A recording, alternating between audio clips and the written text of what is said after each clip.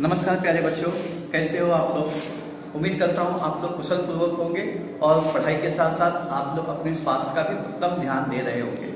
प्यारे बच्चों, आज का सुविचार है, हमें समय का सदुपयोग करना चाहिए। प्यारे बच्चों, आप जानते हो, आज जो समय चल रहा है बहुत ही विकट है। अर्थात बहुत हम विकट समस्या से गुजर रहे हैं। जैसे जो महामारी फैली हुई है कोरोना।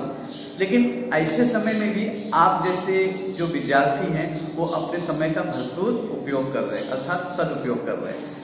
अर्थात प्यारे बच्चों, हमें अपने समय का कभी भी सही से उपयोग करना चाहिए। उसे व्यर्थ में गंवाना नहीं चाहिए। अगर हम अपने समय का सही से उपयोग करेंगे तो निश्चित ही हम सफलता हमारे हाथ लगेगी।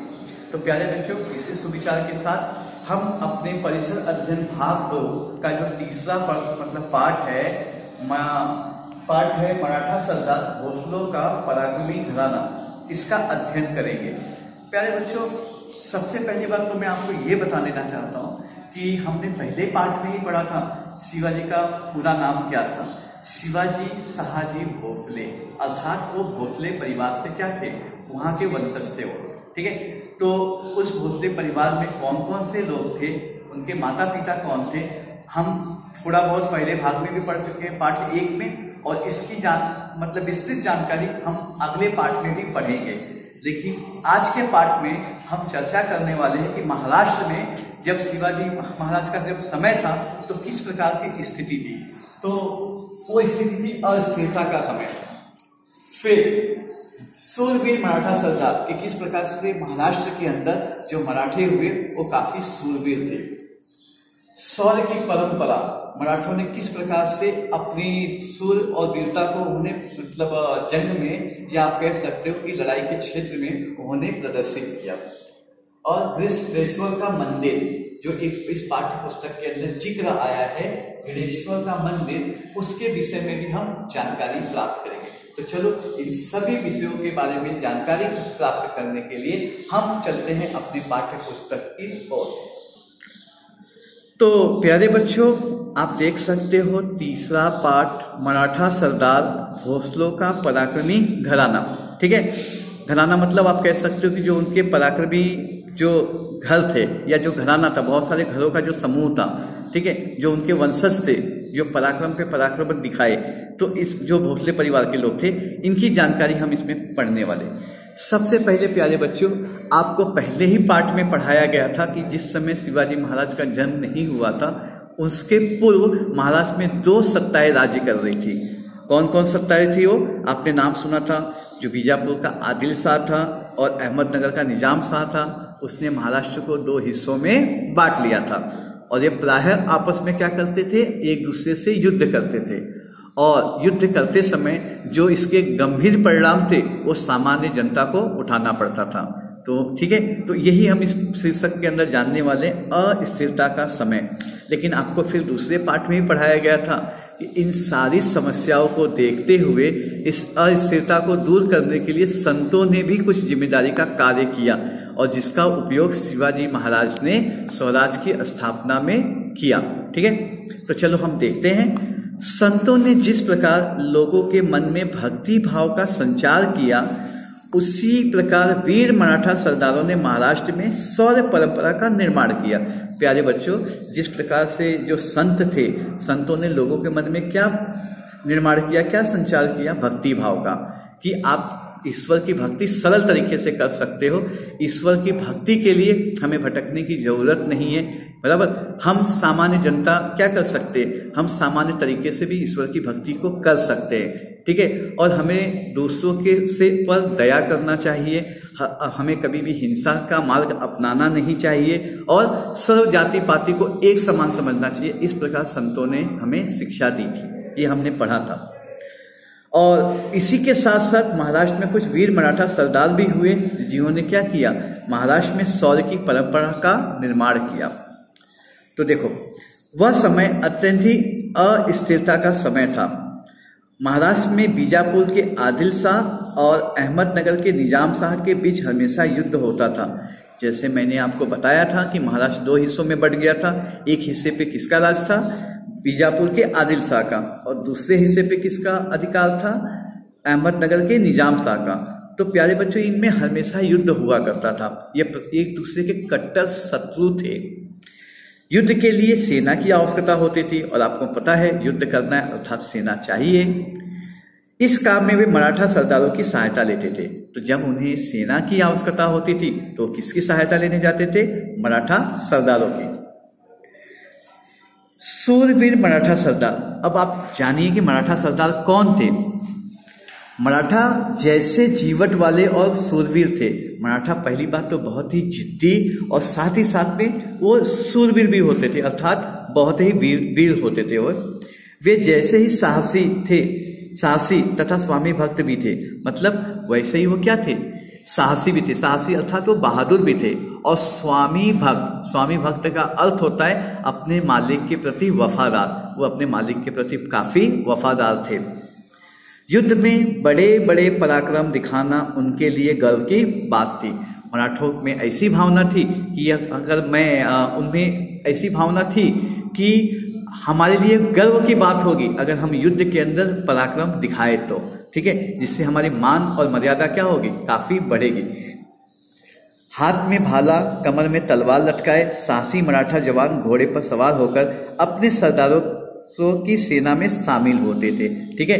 उनका रूप रेखा किस प्रकार से था? हाथ में तलवार लिए रहते थे, कमर में तलवार लटकाए रहते थे, हाथ में भाला लिए रहते थे और वह घोड़े पर सवार होकर के बराबर, अपने सरदारों की सेना में जाकर के शामिल होते थे। उनके पास सेना रहती थी और जितने मराठा ये सुरवीर थे उनके पास स्वयं की सेना होती थी। सेना रखने वाला मराठा सरदार जब भी सुल्तान के पास जाता था तो वह उसे अपनी नौकरी में रख लेता था। कौन?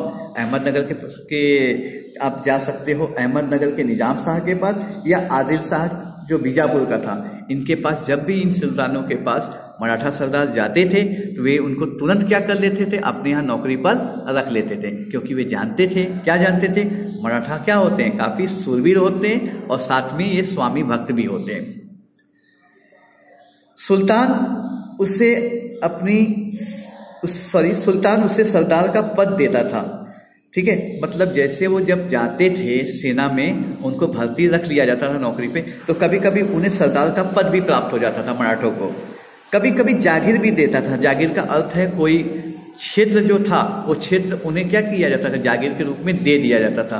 अर्थात उसकी देख रेख उसके करता धरता वे सरदार स्वयं होंगे। अर्थात कौन? वो मराठे। जागीर पाने वाला सरदार अपने आप को उस जागीर का राजा मानता था। और जिसे जो जागीर मिल जाती थी तो वो जागीर का अपने आप को क्या समझने लगता था? राजा। बीजापुर और अहमदनगर के सुल्तानों के दरबार में कई बड़े बड़े मराठा सरदार थे। ठीक है? अब कौन मराठा सरदार थे?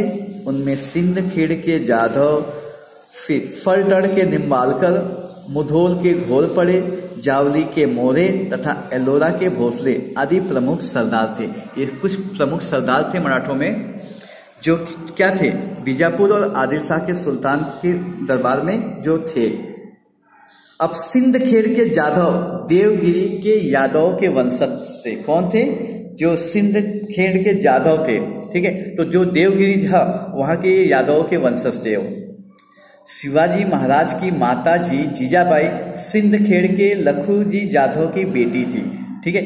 तो प्यारे बच्चों, जीजा माता और जो उनके पिता थे शिवाजी के शाहजी राजे इनकी जो वंशावली थी, हम अगले पार्ट में विस्तृत तौर पे पढ़ेंगे, क्योंकि ये आगे आपके पाठ्य पुस्तक में दिया गया है। आप केवल इतना ही समझ लीजिए कि जो लखू जी जादव थे सिंध सिंध खेड़ के, जीजाबाई क्या थी? उनकी बेटी थी। और जीजाबाई आप कौन है, आपको अच्छे से पता है, जीजाबाई शिवाजी की माता थी।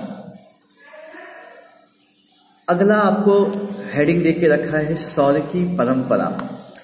अब ये जो सरदार जो थे, जो अहमदनगर के और बीजापुर के जो सुल्तानों के दरबार में थे, जिनका नाम अभी अभी हमने जाना, जो थे कौन कौन थे? सिंधखेड़ के जादव फल्टर के निम्बालकर मुधोल के घोल पड़े, जावली के मोरे और एलोरा के भोसले। ये इन्होंने महाराष्ट्र में सौर की परंपरा स्थापित की। लेकिन प्यारे बच्चों, इनमें भी कुछ कमियाँ थी। ठीक, क्या कमियाँ थी हम देखते हैं। ये सरदार बड़े सूरवीर थे, परंतु उनमें से कई सरदार में परस्पर बड़ी शत्रुता थी। ये आपस में लड़ते थे, आपस में इनमें दुश्मनी थी। संगठित होकर पारस्परिक हित के लिए कुछ करना चाहिए, ऐसा विचार वे कभी नहीं करते थे। उनके मन में ऐसा कभी ख्याल नहीं आता था कि हम क्या कर रहे हैं, हम मुगलों की गुलामी कर रहे हैं और हम एक दूसरे को ही मार करके मर रहे हैं। मारने वाला और मरने वाला हम दोनों मराठा है, ठीक है? इसमें फ़ायदा किसका हो रहा है? जो बाहर से आए हुए बराबर, निज़ाम शाह और आदिल शाह है।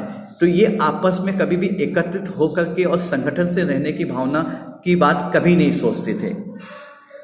यही कारण था कि उनका शौर्य उस समय दूसरों के काम आता था। दूसरे के काम मतलब किसके काम? आदिल शाह और बीजापुर के काम आता था।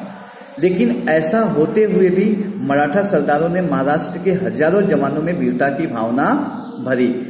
ठीक है, फिर भी इन्होंने क्या किया? अपनी वीरता से, अपनी सौरता से महाराष्ट्र के जो हज़ारों वीर जवान थे, उनके प्रेरणा के स्रोत बने हो उन्होंने बहुत से पराक्रमी वीर तैयार किए। मराठा सरदारों ने महाराष्ट्र में सौर्य परंपरा को जीवित रखा, ठीक है? तो इनके वजह से क्या हुई? जो सौर्य की परंपरा थी, वो पूरी रूप से अस्थायी नहीं रही, बल्कि अस्थायी रूप से जीवित रहा। और उसके लिए कारण कौन थे? यही जो सूरवीर मराठा थे।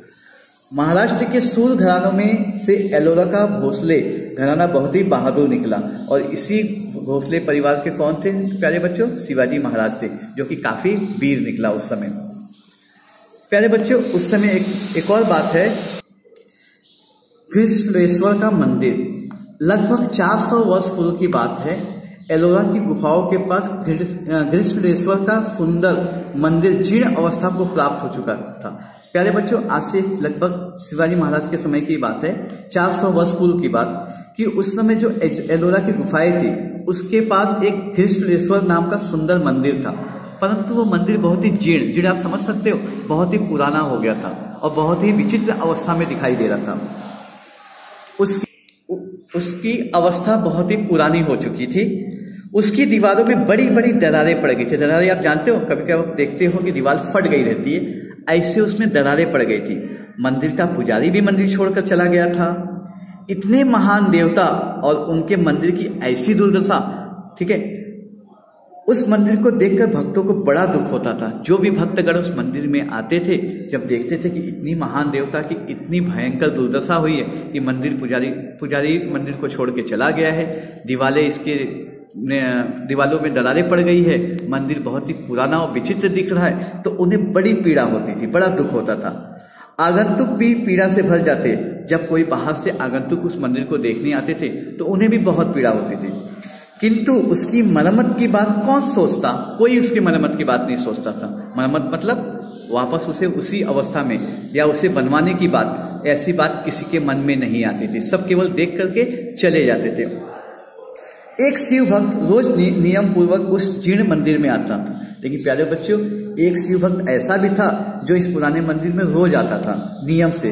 शिवलिंग पर बेलपत्र चढ़ाता था जो भगवान शिव का क्या माना जाता है? सबसे प्रमुख आप कह सकते हो कि श्रद्धा का श्रद्धा की बात मानी जाती है श्रद्धा का आप कह सकते हो चढ़ावा माना जाता है बेलपत्र तो प्रतिदिन क्या करता था? शिवलिंग पर बेलपत्र चढ़ाता था। हाथ जोड़कर अपने मन की इच्छा भगवान शिव से कहता था, एक दिन उसने मजदूरों को साथ लिया और मंदिर की जीर्ण दीवारों की मरम्मत करवाई। एक दिन ऐसे ही आते आते उसने क्या किया? कुछ मजदूरों को अपने साथ लिया और जितनी भी दीवारों पर दरारें पड़ी थी, उसकी उसने मरम्मत करवा दिया और मंदिर को फिर से उसने एकदम नया कर दिया। उसकी सारी व्यवस्थाएँ ठीक कर दी। जो जो भी वहाँ पे असुविधाएँ थी, या आप कह सकते हो कि जी मंदिर के अंदर जो भी आप कह सकते हो कि खराबियाँ हो गई थी, उसे उसने ठीक करवा दिया। घृष्णेश्वर का खोया हुआ वैभव लौट आया। ऐसा लग रहा था कि जो उसकी पुरानी वैभव थी, यानी सुंदरता थी, वापस लौट आई। यह सब किसने किया? कौन था यह शिवभक्त? वे थे मालोजी राजे भोसले जिन्होंने ये सारे मतलब चीज़ों को उन्हें पूर्ण रूप से व्यवस्थित रूप से किया वहाँ पर। और इसके बाद से क्या हुआ कि उसकी वैभव वापस आ गई। अर्थात आप समझ सकते हो, पुजारी वापस मंदिर में आ गए। रोज सुबह शाम वहाँ पे फिर से भजन और कीर्तन होने लगे, ठीक है? आगंतुक जो भी आते थे, फिर उस मंदिर की वैभवता को देख करके वो गदगद हो जाते थे। तो ये सब करने वाले थे मालोजी राजे भोसले, जिनके बारे में प्यारे बच्चों, इनकी वंशावली और शिवाजी की वंशावली अब हम इसके बारे में अगले पार्ट में पढ़ेंगे, अर्थात भाग दो में जानेंगे। तो हम चलते हैं फिर से अपने श्याम पट की ओर। तो प्यारे बच्चों, मैं उम्मीद करता हूँ कि आज आपको जो इसमें मैंने बताया अस्थिरता का समय सूर्यवीर मराठा सरकार, सौर की परंपरा और घृष्णेश्वर का मंदिर आपको अच्छे से समझ में आया। आप वीडियो देखिए और साथ साथ में पाठ्य पुस्तक भी लेकर के बैठिए तो आपको पाठ अच्छे से समझ में आएगा। तो हम मिलते हैं अगले वीडियो में, ठीक है? तब तक के लिए धन्यवाद, अलविदा।